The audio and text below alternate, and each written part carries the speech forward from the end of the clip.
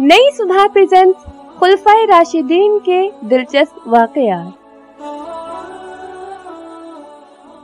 नबी करीम सल्लल्लाहु अलैहि वआलिहि वसल्लम साहब कराम की एक जमात में तशरीफ़ फरमा थे। हुजूर अकरम सल्लल्लाहु अलैहि वआलिहि वसल्लम ने साहब कराम से पूछा, तुम में से आज किसका रोज़ा है? हज़रत अबू बकर रज़ी अल्लाह तहों ने अर्ज़ किया, या रसूल अल्लाह मैं रोज़े से हूँ।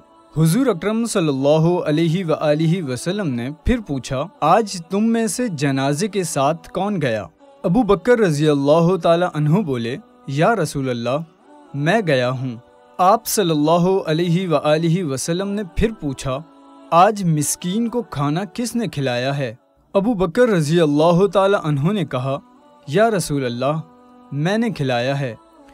हुजूर अकरम सल्लल्लाहु अलैहि वसल्लम ने दोबारा पूछा, आज तुम में से किसने बीमार की अयादत की?